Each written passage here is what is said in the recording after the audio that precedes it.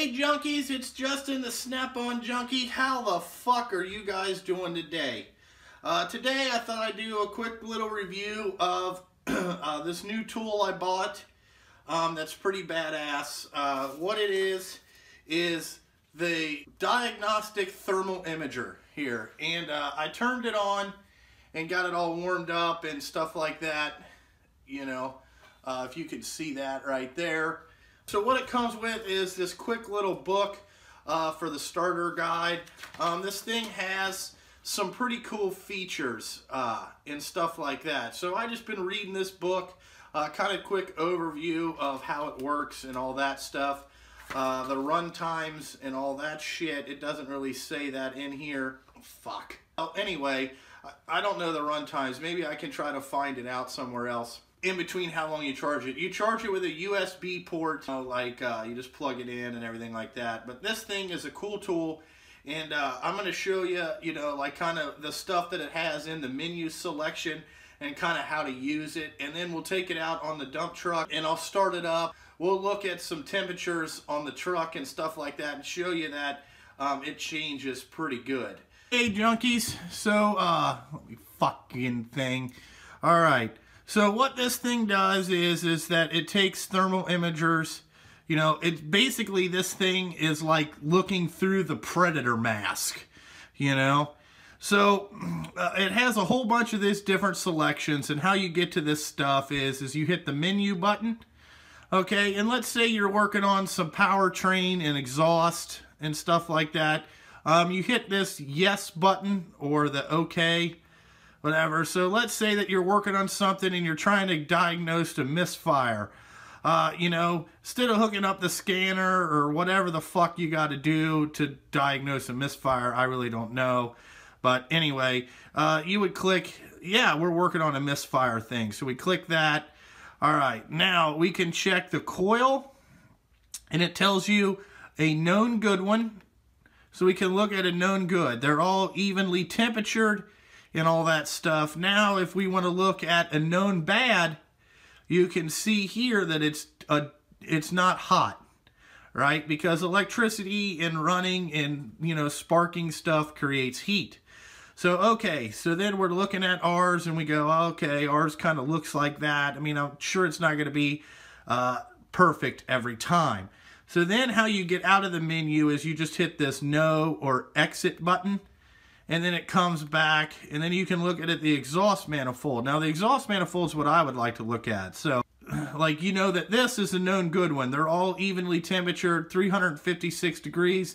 Um, that's a good idle temperature. Um, you know what I'm saying? That's what most cars probably idle at anywhere between you know about 250 to 300 I know the top fuel cars that I worked on uh, the idle temperature was about 450 degrees so then you go down here and you can see a known bad where you can definitely tell that the number two cylinder here is kind of jacked up. It doesn't look very right. So then you can go back out of that and it kind of gives you a tip, you know, tells you all that shit. All right, now this is pretty cool because um, it tells you uh, bearings and pulleys. So you can kind of tell if you have a worn bearing, you know, you got idler, you got all this different stuff. So let's look at most people bitch about AC concerns. So we'll turn that uh, known good. We'll look at that. You know, it's a nice even heat, if you could kind of tell. And then the known bad one where it's kind of hot, where it's been rubbing and stuff like that. And then it's cold out here. That's no braino. So you know, it's got a whole bunch of these different stuff in here. Uh, you know, I think a lot of people are going to use it for, uh, I think this body and electrical, like heated seats. So we can look at a known good one. You know, and you can see all the heated elements in there and stuff like that. And then we can scroll down to the known bad where it's not very much. You don't see anything. Then you know you got a heated seat problem. But I mean, it's got heated mirrors, you know. I mean, it's they've took a lot of pictures on here. You can tell if the window motor is bad. Holy shit. Wow. That's pretty cool. Oh my god, four-wheel drive switch. Let's look at this. So, I guess that's a known good one. And then this is a known bad, where it's kind of shorting out and getting hot and all that stuff. Which is pretty cool, you know. What, you do window seals? Holy shit, you must turn on the heat in the car and then... That's fucking cool you know, so it's got a whole bunch of this different shit, you know, we can go through here and uh, all this stuff like heater core, all cooling seats. That's a known good one. They don't have a known bad on the on the on the uh, cooled seats there. That's fucking interesting. So you can see that this tool comes with a lot of stuff already uh, in it you know. So now what I thought is we'd go out and uh, what it works like on the truck and all that stuff. We'll delete this picture. So we'll take this thing out there to the truck. We'll get it started up. I'll get it warmed up a little bit and then I'll show you this, uh, you know, how this thing kind of works and what you can do with it. I'm out here at the truck and you can see the engine here.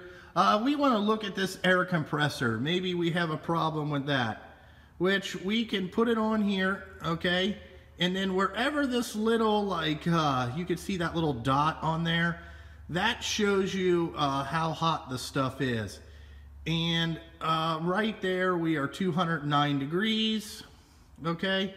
We can come up, uh, we can go, we can go over here, and we can see, you know, that everything is, you know, about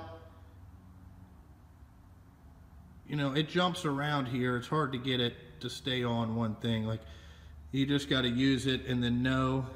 Shit, that gave you too much glare. So there's the compressor. Now here is the front pulley up here. And, you know, I don't see anything that sticks out in my brain or in my mind, you know, that that bearing's bad or anything like that. And then what you can also see over here um, is the power steering lines. So you can kind of check, shit, you can kind of check to see that power steering line that comes down right there, you know, all that type of shit. And then you can take a picture of it.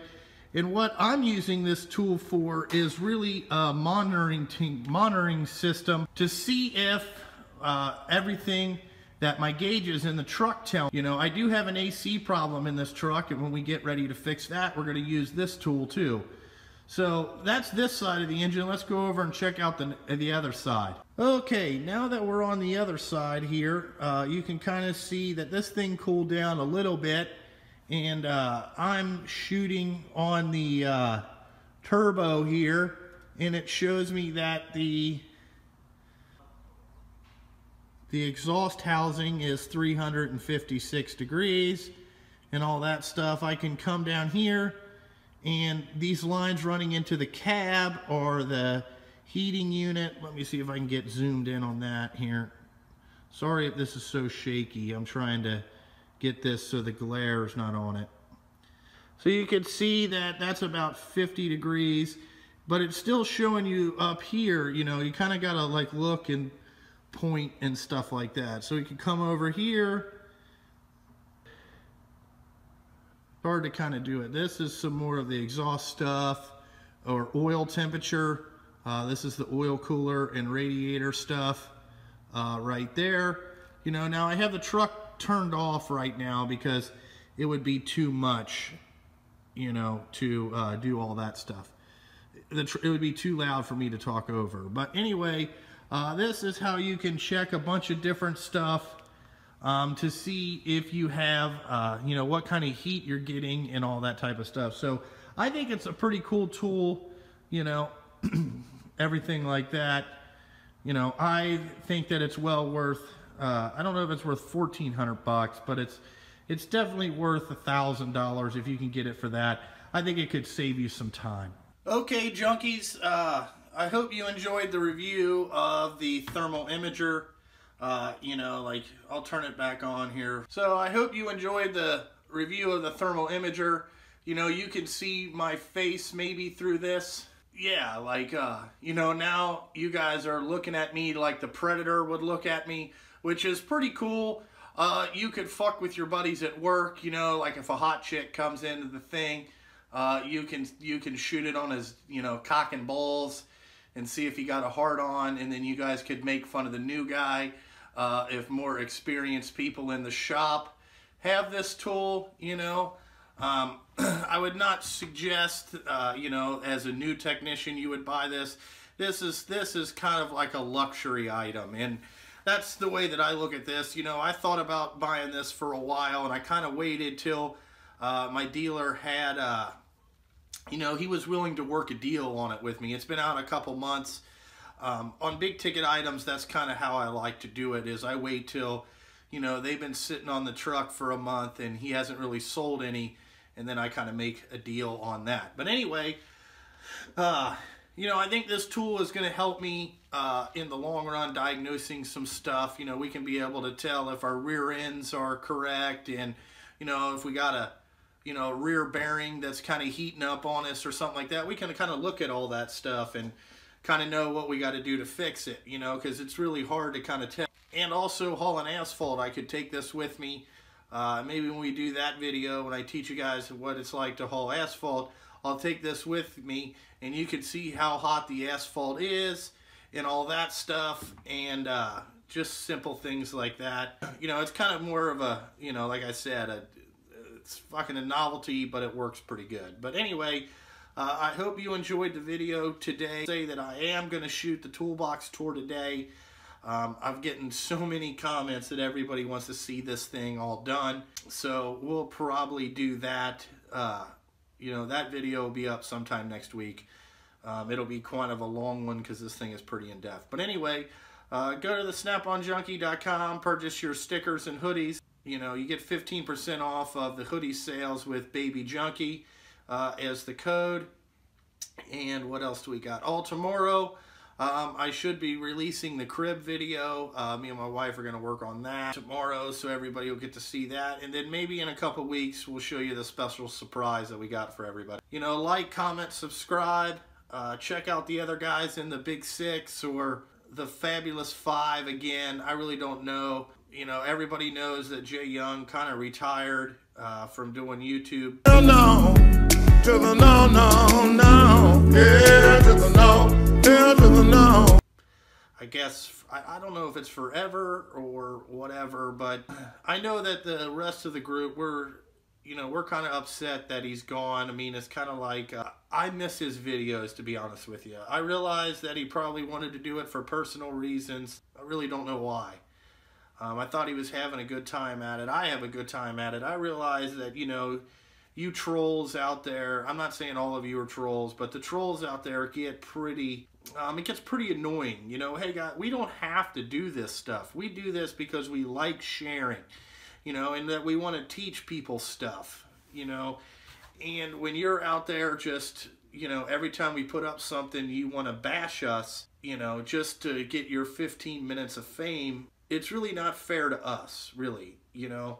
And I realize, you know, there's a lot of people out there making YouTube videos probably because uh, they're seeing the success that we have as a group together. And it's really not, you know, guys, what makes us entertaining is really personality and uh, talking about things and opening up. As far as YouTube goes, I feel like uh, the six of us are pretty, we're pretty accessible, you know. Uh, there's people out there that have our telephone numbers and call us, you know, and shoot the shit and text message back and forth. And then there's some people that have our telephone numbers that you know, uh, just call too much and don't, you know, know their place or whatever. If you get what I get what I'm saying, you know, they're kind of annoying, and that that in itself can get time consuming. You know, like guys, we have regular lives and all that stuff too. You know, kind of is what it is. I guess you got to take, you know, it's.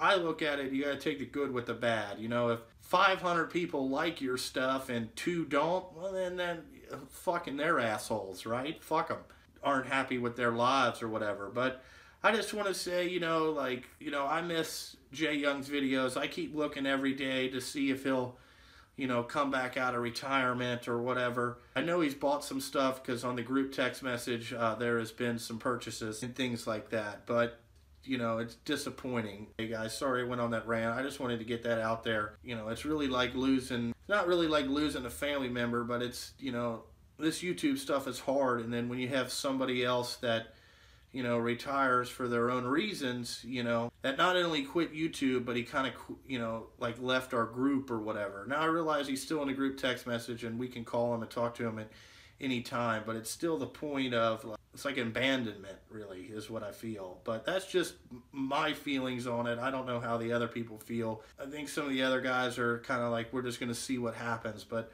I have a feeling he might be making uh, return sooner rather than later, or at least I hope you know, just for everybody out there. Maybe when things calm down, he'll he'll shoot another one, or you know, maybe one of us can go there and get him to shoot a video with one of us, where he doesn't have to deal with it. Thanks for watching the video today. That's about all I got. Uh, have a fucking good one.